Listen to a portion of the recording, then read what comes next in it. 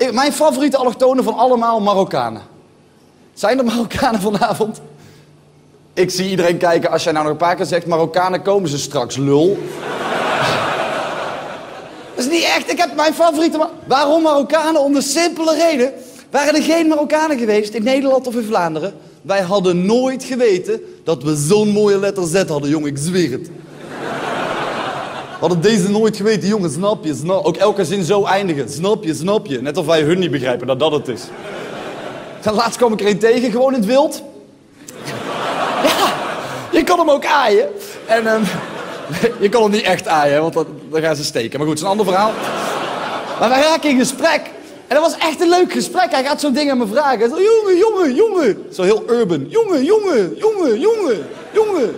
Zo heel straat. Jongen, jongen. Net zo, net, net zo Daihatsu uit 1992 die niet wil starten. Zo, jongen, jongen, jongen, jongen, jongen, jongen. En hij gaat dingen aan me vragen, hè. Hij vraagt dingen zo jongen, jongen, jongen, jongen. Ik was jongen. Jongen. Jongen, geef me een zolvuurtje. Ook een zolvuurtje. Geef me een zolvuurtje. Maar ik verstond hem niet, dus ik geef hem een sigaret. Dat is trouwens heel tof van mij, hè. Hij vraagt aan mij een vuurtje, dat kost niks. Ik geef een sigaret, kost 20 cent. Ik ben een Hollander, dat is echt heel tof van mij. En hij geeft me die klassieke Marokkaanse straattaalreactie. Hij kijkt me aan en zegt, jongen, jongen, jongen.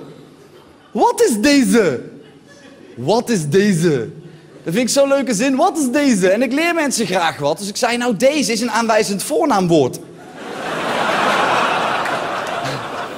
Maar hij begreep mij niet. Hij zei, nee jongen, Ahmed is mijn voornaamwoord. Prima. Toen ik eh, heel lang geleden...